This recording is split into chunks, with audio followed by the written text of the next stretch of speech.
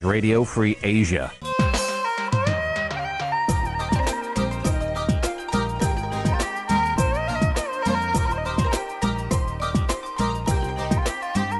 វេទិកាអ្នកស្ដាប់វិទ្យុអាស៊ីសេរី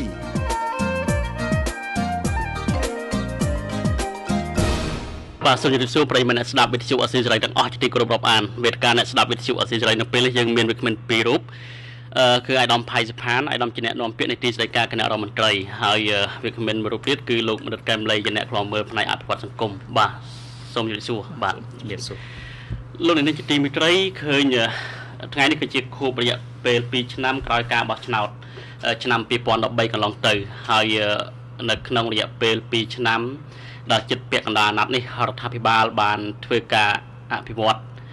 បានសមិទ្ធផលមួយចំនួនហើយក៏មានបញ្ហាខ្វះខាត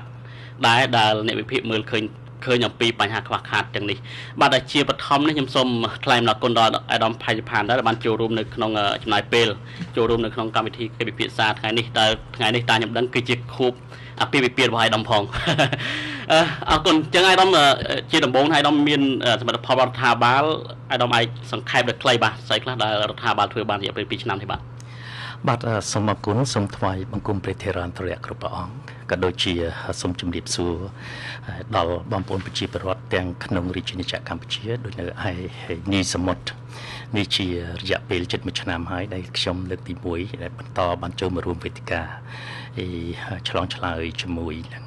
ដែលប្រជាពលរដ្ឋតាមរយៈវេទិការបស់វិទ្យុអស៊ីសេរីក៏សូមថ្លែងអំណរគុណដែរខ្ញុំជឿជាក់ថាការជម្រាបជូនគឺជាព័ត៌មានសុទ្ធសាធខ្ញុំមិនមែនជាយុទ្ធនាការឃោសនាទេហ្នឹងបាទជម្រាបសួរហើយយើងដឹងហើយថានៅពេលនេះនៅពេលដែលខ្ញុំធ្វើដំណើរមកអង្គុយនៅក្នុង KA Studio របស់ Radio Free Asia ដែលវិទ្យាការកត់សម្គាល់របស់ខ្ញុំទី1ការជាប់ស្ទះនៅតាមផ្លូវទី2អ្វីដែលយើងឃើញហ្នឹងគឺសន្តិសុខជាតិបានល្អណាស់ គឺដែលខ្ញុំដែលនិយាយអំពីដែលស្ថិរភាពហើយនឹងសន្តិភាពបានធ្វើឲ្យយើងទទួលបាននៅផលប្រយោជន៍ទាំងអស់នេះគឺយ៉ាងហោចណាស់យើងអាចនិយាយថាអេចលនានៃដែលស្រទាប់អេកណ្ដាលរបស់ប្រជាពលរដ្ឋកម្ពុជានឹងមានធ្វើរីកមាឌមានកំណើនដែលជាសក្តានុពលរស់រវើកមួយសម្រាប់សង្គមសេរីនិងនេះគឺជាសារៈសំខាន់ កត្តាដែលយើងនិយាយនេះយើងឃើញមានមជ្ឈមណ្ឌលពាណិជ្ជកម្មធំធំបើកនៅក្នុងរាជាណាចក្រកម្ពុជាយើងឃើញមានភោជនីយដ្ឋានរបស់ខ្នាតអន្តរជាតិក៏មកបើកនៅរាជាណាចក្រកម្ពុជាយើងឃើញជាបន្តបន្តទៀតនេះបញ្ជាក់ថាអ្វីទៅដែលជាការរីកចម្រើននៃវណ្ណៈកណ្ដាល ហើយបន្ថែមទៅទៀតចំនួនរថយន្តយើងឃើញដែលបានសេចក្តីរាយការណ៍អំពីក្រសួងដែលសេដ្ឋកិច្ចនិងហិរញ្ញវត្ថុគឺការប្រមូលពន្ធបានច្រើន អំពីការទិញរថយន្តថ្មីថ្មីចូលមកក្នុងរាជាណាចក្រកម្ពុជា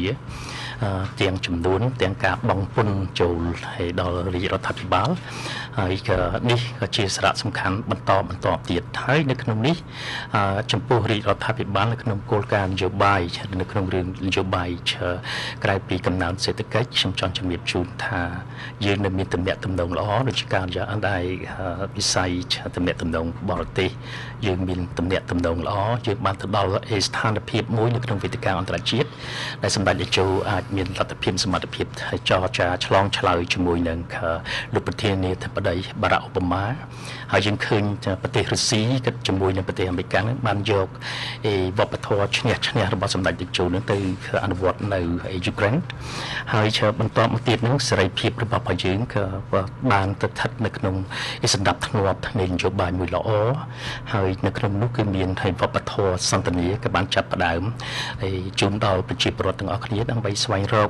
ភាពអហិង្សាក្នុងការចូលរួមឯចំណែកនៅក្នុងនោះអានេះខ្ញុំគាត់ជម្រាបជាទូទៅទេទុកជូនបាទអរគុណបាទអរគុណលោករដ្ឋកម្មលេលោកមើលឃើញយ៉ាងម៉េចដែរបាទរយៈពេល2ឆ្នាំនេះបាទបាទសូមអរគុណខ្ញុំសូម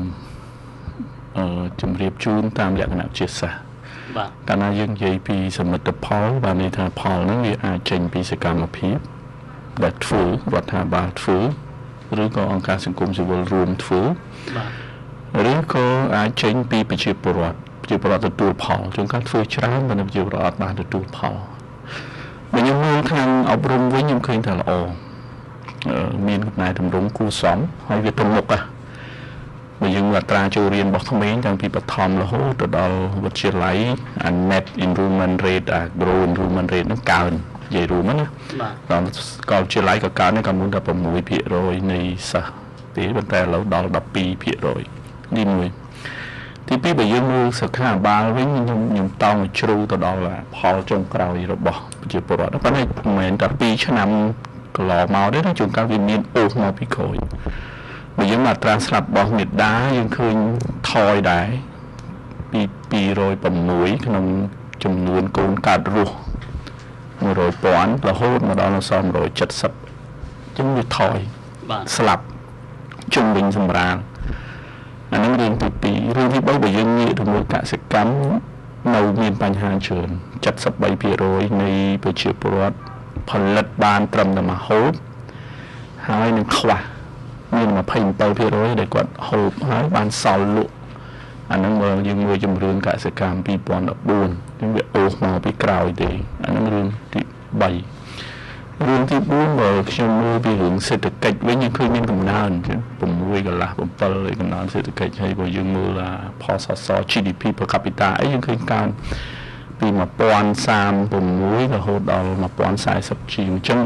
ក្នុងមនុស្សម្នាក់មិនមួយឆ្នាំប៉ុន្តែមិនមែនមានន័យថាជាផលិតផល ក្រោយតែ2ឆ្នាំហ្នឹងទេវាអាចមានប៉ុន្តែកន្លែងនេះអវិជ្ជមានខ្ញុំឃើញចេះខ្ញុំនិយាយជាលក្ខណៈនយោបាយរដ្ឋាភិបាលធ្វើបានល្អកន្លែងនេះខ្ញុំទៅសារនេះគឺក្រសួងអប់រំក្រសួងកសិកម្មក៏គួរសមប៉ុន្តែកន្លែងនេះធ្វើមិនល្អដែលនិយាយថាដុសក្អែលបាទក្រសួងក្អែលវាក្រាស់បពុនិយមនឹងអត់អត់បានទេអត់ទំនុកទេហើយមានអកោន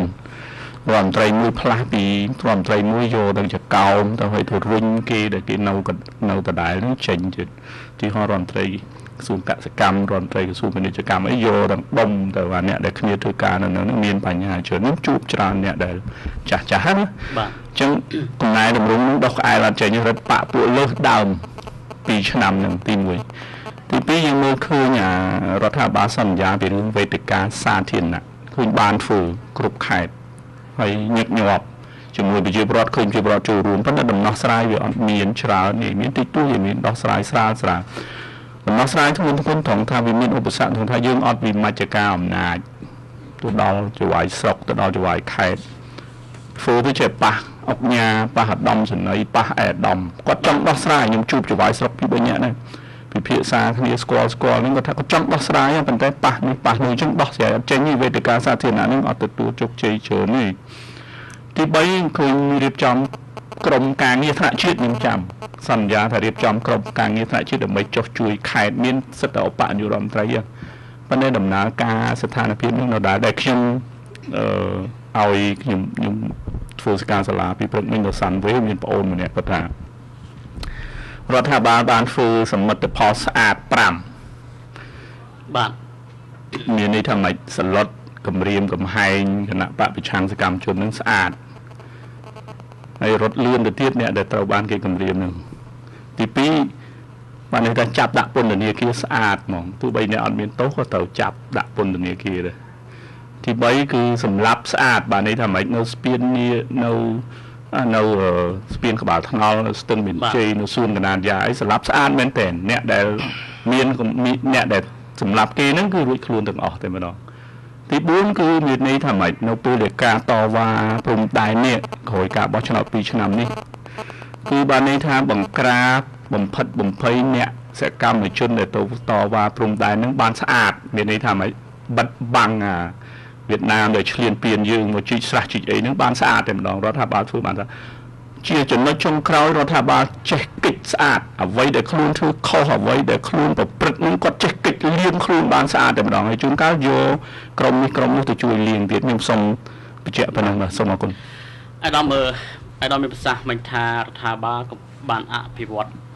បានល្អដោយអាដាមបានលើកឡើងអញ្ចឹងក៏ប៉ុន្តែបើយើងមើលអំពីរបាយការណ៍របស់ World Bank ចុងក្រោយហ្នឹងបានចេញថាជាជនដែលរកចំណូលបានក្រោមក្នុងមួយថ្ងៃ5000រៀលហ្នឹងប្រហែលជា6លាននាក់ហើយអ្នកដែលងាយរងគ្រោះហ្នឹងប្រហែលជា10លាននាក់មួយវិញទៀតបើយើងមើលអំពីសន្ទុះនៃការធ្វើចំណាក់ស្រុកក៏នៅតែច្រើនដែរតើហេតុអីបានជាយន្តការរបស់រដ្ឋាភិបាលក្នុងការដោះស្រាយបង្កើនការងារធ្វើឲ្យប្រជាជនកម្ពុជាហ្នឹង នៅតែមានបញ្ហាឬក៏យ៉ាងម៉េចមួយវិញទៀតកាលពីពេលថ្មីថ្មីនេះសម្ដេចនាយករដ្ឋមន្ត្រីហ៊ុនសែនបានចេញទៅប្រទេសកូរ៉េខាងត្បូងស្នើឲ្យកូរ៉េអឺទទួលយកពលករខ្មែរថែមទៀតនេះឆ្លោះបញ្ចាំងថាកំណើនជាជនយើងកាន់ការឡើងច្រើនរដ្ឋាភិបាលបង្កើតការងារមិនទាន់ឬក៏ឆ្លោះបញ្ចាំងពីអសមត្ថភាពរបស់រដ្ឋាភិបាលបាទបាទសូមអរគុណហើយខ្ញុំសូមវិតម្លៃបន្តិចចំពោះឲ្យលោកកែមលី ដែលលោកនិយាយប្រមាណចំណុចដែលស្អាតអានេះគ្រាន់តែជាពាក្យចំអកឡកលើយទេហើយខ្ញុំជឿថាលោកកែមលីជួនកាលគេប្រើពាក្យថាបណ្ឌិតដូច្នេះភាសានឹងមិនមែនជាភាសាបណ្ឌិតទេពីព្រោះឯវេទិកានេះមានតម្លៃណាស់សម្រាប់ស្ដាប់បាទហើយខ្ញុំមិនចង់ហេវិភាគយ៉ាងម៉េចចំពោះហេពីព្រោះ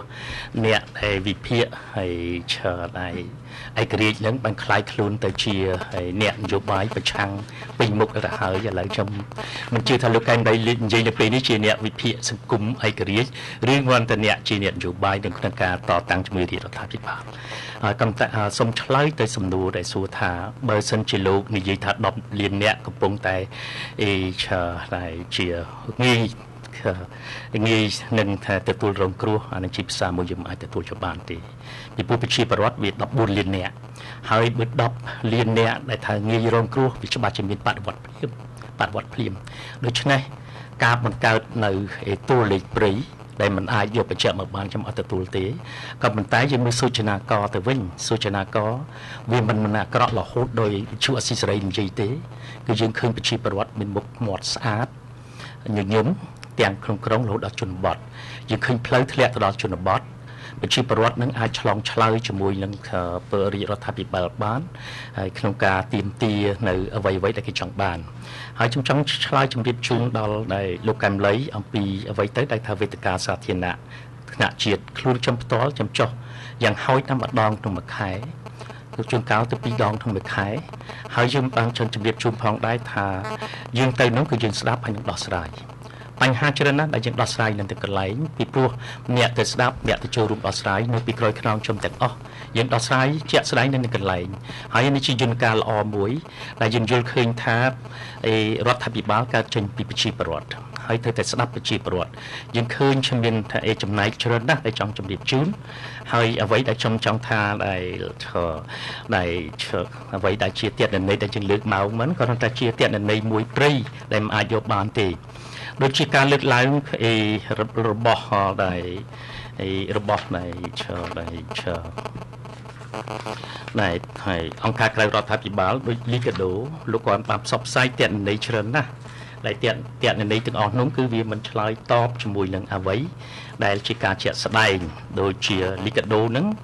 បានក្រសួងខេនគរដែនដីរូបនីយកម្មនឹងអញ្ជើញឲ្យធ្វើការផ្ទៀងផ្ទាត់ពីបញ្ហាបញ្ចេញផ្សាយតួលេខនោះប៉ុន្តែដល់ពេលក្នុងក្រោយលីកាដូបានសំទោសចំពោះការរីការរបស់ខ្លួនចំពោះរដ្ឋាភិបាល រីឯអាត់ហុកក៏ដូចគ្នាដែរក្រសួងបានធ្វើដូចអ្វីដែលបានជាមួយនឹងលីកាដូសូមអញ្ជើញមកដើម្បីអេ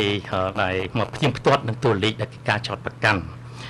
ហើយក៏ប៉ុន្តែរហូតមកដល់ពេលឥឡូវនេះគឺយើងអត់ទាន់ទទួលបានអ្វីទេ ហើយជិបសួរថាតើអេវេទិកាប្រជាពលរដ្ឋនៅនឹងកន្លែងអាចដោះស្រាយបានទេនិយាយថាដោះស្រាយបានតើការរំលោភដែលដីពី ក្រមមានអំណាច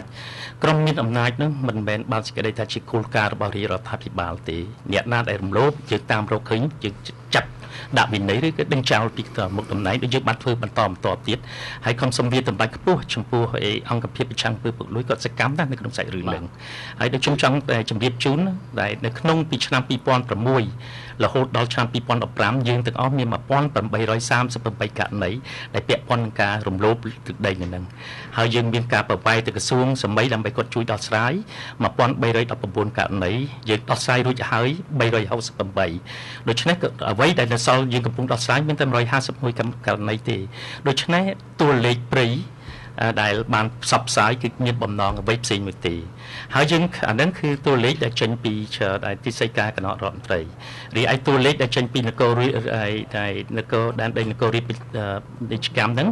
យើងឃើញមាន38ករណី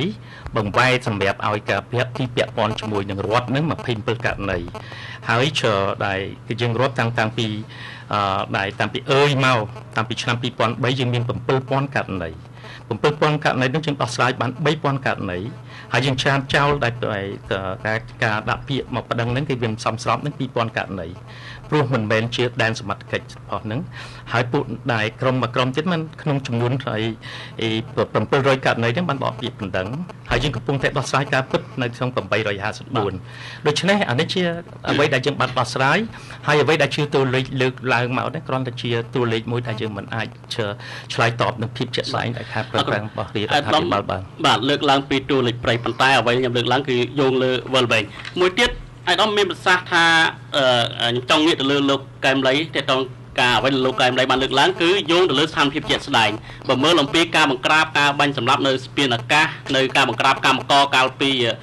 ជាប់កែននយោបាយនៅផ្លូវវែងច្រេង យុទ្ធធម៌របស់អ្នករងគ្រោះអត់ទាន់មានទេអ្នករាយការណ៍ពិសេសរបស់អង្គការសហប្រជាជាតិលោកសូយ៉ាសូប៊ីក៏បានលើកទទូចទៅរដ្ឋាភិបាលជាច្រើនលើកក៏ប៉ុន្តែរបាយការណ៍របស់អង្គការអន្តរជាតិទាំងនេះរដ្ឋាភិបាលតែងតែបដិសេធដោយដែលអង្គកំពុងបដិសេធនៅពេលនេះហេតុអីបានជាក្រោយពីការបោះឆ្នោតកំណែតម្រង់រដ្ឋាភិបាលសម្អានទៅលើការធ្វើកំណែតម្រង់ប្រព័ន្ធយុទ្ធធរហើយហេតុអីអ្នករងគ្រោះទាំងអស់នឹងរកមិនបានហើយបាទខ្ញុំខ្ញុំសូមឆ្លើយជូនទៅវិញខ្ញុំជួយលើកគ្រាន់តែជាអ្នកសម្របសម្រួល មិនបាច់ប្រើសម្លេងធ្ងន់គឺខ្លាំងនោះទេខ្ញុំឆ្លើយជូនទាំងអស់បាទហើយខ្ញុំចង់ជម្រាបជូនអ្វីដែលយើងស្វែងរកអ្វីដែលភាពជាក់ស្ដែងតើអ្នកណានៅពីក្រោយខ្នងដែលបង្កើតអំពើហិង្សា ហើយអំពើហិង្សាទាំងអស់ហ្នឹងកើតមកពីរបៀបម៉េចអានឹងជាការងាររបស់តុលាការរហូតដល់ពេលឥឡូវហ្នឹង11នាក់ដែលតុលាការយល់ឃើញថាអ្នកទាំងអស់ហ្នឹងបានប្រព្រឹត្តឬក៏បានចូលរួមនៅបង្កើតបាននៅអីអ្វីទៅដែលការប៉ះពាល់ដល់រាងកាយគ្រោះថ្នាក់ដែលរបស់ផកគេដូច្នេះតឡាការបង្កើតការវិនិច្ឆ័យរបស់ផកខ្លួនដែលជាដែនអំណាចឯករាជ្យរបស់ផកគេយើងគណៈអ្វីទាំងឡាយទាំងពួងនឹងទាំងអង្គការក្រៅរដ្ឋាភិបាលឬក៏អង្គការអន្តរជាតិនឹងបានមកដាក់ឲ្យអ្វីដែលសម្ពាធហើយនឹងយល់ឃើញថាវាមិនសមស្របពីព្រោះថាករណីជាការនយោបាយក៏សូមជម្រាបជូនថាការកាត់ក្តីនឹងគឺមិនមែនជាការកាត់ក្តីអ្នកនយោបាយទេការកាត់ក្តីរបស់អ្នកដែលធ្វើឲ្យមានកើតអំពើហិង្សាដូច្នេះគួរតែនិយាយហើយនឹងគិតឲ្យយុត្តិធម៌សម្រាប់ប្រជាជាតិខ្លួនឯងផងពីព្រោះយើងកំពុងតែពង្រឹងនីតិរដ្ឋហើយការពង្រឹងនីតិរដ្ឋនឹងយើងធ្វើជាបណ្ដាបណ្ដាសំបីតែអង្គញាក៏បានជាប់ចូលនៅក្នុងពន្ធនាគារហើយមេទាហានធំធំក៏បានជាប់គុកអស់ជីវិតហើយដល់ទៅទៀតអានេះជាការប្រឹងប្រែងរបស់យើងហើយបើសិនជាយើងនៅក្នុងស្ថានភាពនៃមាតុប្រទេសរបស់យើងយើងឃើញតែខ្មៅងងឹតទាំងអស់មិនព្រមឲ្យប្រជាពលរដ្ឋលោកដឹងលោកយល់អំពីសមត្ថផលខ្លួនបានទេអានឹងមិនដឹងជាងកសាងស្រុកយើងរបៀបម៉េចបាទបាទដោយដល់មានប្រសាសន៍មកអញ្ចឹងសូម្បីតែអង្គញាក៏ភ្ជាប់ពន្ធនាគារដែរជាការប៉ັດអង្គញាមួយចំនួនដែលក្រោយពីការប្រកាសឲ្យតាមចាប់ខ្លួនរបស់លោកនាយករដ្ឋមន្ត្រីក៏មានតុលាការក៏ចាប់ភ្លាមក៏ប៉ុន្តែបើយើងមើលអំពីការអនុវត្តច្បាប់នេះ ងាកមកផ្នែកទៀតទៅលើលោកជុំបណ្ឌិតដែលបាញ់កម្មករនឹងមកទល់ពេលនេះម្សិលមិញហ្នឹងក៏ខាងកម្មករមកដាក់ញត្តិទាមទារយុទ្ធធរដែរវាហាក់បីដូចជាការអនុវត្តរបស់តុលាការចម្លើយចម្លើយផុសខ្ញុំចេះទៅវិញករណីដែលបាញ់គេនឹងយើងបានវិនិច្ឆ័យអ្នកនឹងបានរត់មិនមែនបានស្គាល់ថាយើងអត់ប្រកាសទេក្រសួងមហាផ្ទៃបានប្រកាសតាមអត្តពលដូចគ្នាប៉ុន្តែមិនប្រកាសឲ្យលឺតាមអកក្រៃតាមអ្វីជាសាធារណៈដល់ហើយក្រុមគ្រាអញ្ចឹងទេដូច្នេះ គួរតែឲ្យតម្លៃនៃការប្រឹងប្រែងរបស់រាជរដ្ឋាភិបាល គួរតែនាំគ្នាចូលរួមទៅចាត់ អ្នកណាដែលអំពើអំពិលខុសនឹងឲ្យតម្ដឹងមកដូចជាសេចក្តីថ្លែងការណ៍របស់ក្រសួងអេដែលដែលខាងមហាផ្ទៃលោកអំពាវនាវថាសូមឲ្យជួយផងពីព្រោះរដ្ឋាភិបាលរាជរដ្ឋាភិបាលនឹងបានធ្វើរួចហើយយើងក៏បានសូមឲ្យប្រទេសជិតខាងយើងដូចជាប្រទេសវៀតណាមក៏ដូចជាប្រទេសថៃសូមឲ្យជួយឃ្លាំមើលថាតើមានជននឹងទៅដល់ទេជានឹងចាប់មកវិញមិនមែនជាទៅតាមការចោទប្រកាន់ថាយើងបង្ងើយកន្តើយនៅក្នុងសាច់រឿងនេះអានឹងជាការលើកឡើងដើម្បីធ្វើការវិបហាមកលើរាជរដ្ឋាភិបាលឲ្យឃើញរដ្ឋាភិបាលអាក្រក់តែប៉ុណ្ណឹងទេបាទអរគុណបាទលោកកែមលីជួយបន្ថែមខ្ញុំចង់បន្ថែមអំពីតួលេខនៃស្ថានភាពក្រីក្រតាមពិតមិនមែនតួលេខព្រៃទេតួលេខនេះជាតួលេខរបស់ធនាគារពិភពលោកឆ្នាំ2013ហើយជាតួលេខរបស់ក្រសួងផែនការអាដាមឆៃថនជាទេសរដ្ឋមន្ត្រីប្រសិនបើទូលេខនឹងទូលេខព្រៃយើងពិចារណាក្រសួងណា ប្រជាជនដែលរស់នៅក្រោមបន្ទាត់ភាពក្រីក្រមានចំនួន19.5%ស្មើនឹង3លាននាក់ប្រជាជនដែលរស់នៅក្នុងស្ថានភាពចិត្តក្រនិងរងគ្រោះមានចំនួនប្រហែលជា65%ស្មើនឹង8.1លាននាក់បើបូកបញ្ចូលគ្នាទៅមានប្រហែលជាង11លាននាក់ដែលប្រជាជនរស់នៅក្រោមបន្ទាត់ភាពក្រីក្រនិងចិត្តក្រហើយនឹង រងគ្រោះឬក៏រកអត់បាន2ដុល្លារចុច15ក្នុងមួយថ្ងៃក្នុងមួយនាក់អាហ្នឹងខ្ញុំសូមបញ្ជាក់តួលេខនឹងឡើងវិញមួយទៀតខ្ញុំចង់បញ្ជាក់ថាជាទូទៅខ្ញុំឃើញរដ្ឋាភិបាលមានកម្លាំងខ្លាំងមានប្រព័ន្ធតាមដានចាប់អក្រិតជនបានល្អតើតោងហេងពៅទៅដល់ម៉ាឡេស៊ីតើតោងសុកប៊ុនទៅដល់អាមេរិកអីចឹងណា ពីវនីវគាត់ថាទៅដល់ណាក៏ចាប់បានដែរឲ្យតែគាត់ចង់ចាប់ប៉ិនចំណាយឈូបណ្ឌិតបើសិនជាគាត់មានការបដិញ្ញាចិត្តដូចតែសុកប៊ុនដូចតែហេងពៅគឺងាយស្រួលបំផុតពីព្រោះគាត់នៅតែម្ដុំហ្នឹងទេហើយអំពីវនីវទៅឲ្យប្រជាពលរដ្ឋនៅឯណាប្រសិនបើមិនមានអ្នកអន្តរាគមទេបើសិនជាលោកនាយករដ្ឋមន្ត្រីហ៊ុនសែនគាត់ចង់ចាប់វិញខ្ញុំគិតថាអាចនឹងបាន ក្នុងរយៈពេលកន្លងមកនេះបាទ បាទសូមអរគុណចង់ចម្លើយឆ្លើយជាមួយនឹងលោកកែមលីដែលខ្ញុំនិយាយថាតួលេខព្រៃនោះពីព្រោះឥឡូវនេះឆ្នាំ2015លោកយកពីតួលេខតាំងពីឆ្នាំប្រមាណមកខ្ញុំមិនពិចារណាខ្ញុំមានរបាយការណ៍ជាក់ស្ដែងចាំខ្ញុំជម្រាបជូនទៅតាម Facebook របស់ខ្ញុំហើយការលើកទឹកចិត្តមួយដែលលោកកែមលីយល់ឃើញថានឹងអាចចាប់បាន បើសិនជាការសម្រេចចិត្តរបស់រាជរដ្ឋាភិបាលដ៏ត្រឹមត្រូវដូច្នេះបានសេចក្តីថាលោកកែនវៃលោកដឹងថាអ្នកនឹងនៅណាសូមលោកចូលចូលរួមជាមួយនឹងក្រសួងខេមហាផ្ទៃដើម្បីស្វែងរកជនទាំងអស់គ្នាពីព្រោះជនអាក្រក់ជនដៃដល់យើងមិនត្រូវឲ្យមាននៅក្នុងសង្គមរបស់យើងទេលើកឹកណាយើងទាំងអស់គ្នារួមគ្នាបើគ្រាន់តែចង្អុលដៃប្រាប់តែនេះប្រាប់តែនោះរួមទាំងយើងខ្លួនយើងផងហើយតែយើងមានឈ្មោះដល់បណ្ឌិតមានងារដល់បណ្ឌិតគឺមនុស្សល្អណាស់មនុស្សថ្លៃថ្នូរណាស់ហើយបើខាងជាដឹងរឿងប្រាប់ទៅ អានេះខ្ញុំមិនមែនចង់ថាបញ្ចប់ឬក៏ចង់ផ្ជិនផ្ទាល់ទេប៉ុន្តែក្នុងពេលនេះអ្វីដែលសារសម្រាប់ខ្ញុំថាសូមចូលរួមទាំងអស់គ្នាដើម្បីថែរក្សាសង្គមយើងបាទ